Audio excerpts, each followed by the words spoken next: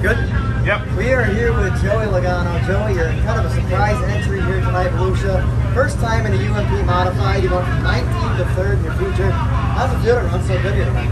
I had fun. Um, I don't know if I ran good. My car is kind of destroyed. I made a little work for these guys, but uh, I had fun. I learned a lot. The first eight laps, I was pretty lost. They only give you three laps of practice, which is ridiculous.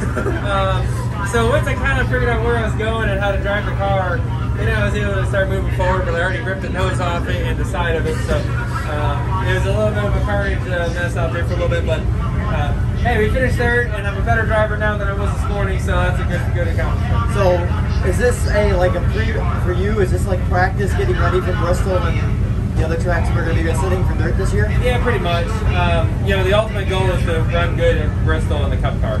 Uh, that's my day job. That's what I get paid to do. So uh, I'm here to try to learn and be a little better when I get there and not be a fish out of water. So um, I think I'm, I'm slowly accomplishing that. It's hard to say that when I only ran 18 laps total in a day, but I'll be here tomorrow this week. So tomorrow, uh, speaking of tomorrow, tomorrow is the qualifiers. What's the game plan going into there, trying to make it to this, the big show of this upcoming weekend? I don't think I'll race the big show anyways. It's just more let's get laps. Um, if I could go out there and I guess it's heat races and things like. I don't know. I don't know how it works. Um, but no, it's, it's more or less just getting laps out there and figuring out which way which way's up. So looking into Daytona now next week, you're going to be racing with Penske again. You're Daytona 500 champion. What's that? What's the mindset going into Daytona? Uh, same as always. Biggest race of the year is the Great American Race. Biggest race of the year for for uh, pretty much America, right? So um, yeah, I get excited about it. I feel like I got a good shot.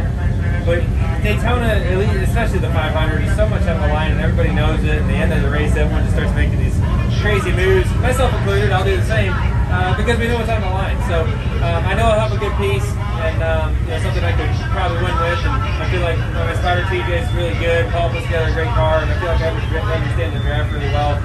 Push you in position, but uh, that all being said, you never know what can happen. Well, thank you for your interview here tonight. Yes, Joey Logano, driver of the number 22, but tonight the number 15, and he will be back here tomorrow night. So make sure you guys stay check check in with Dirt Vision tomorrow night. You can watch Joey race again tomorrow night. Thank you. Cool.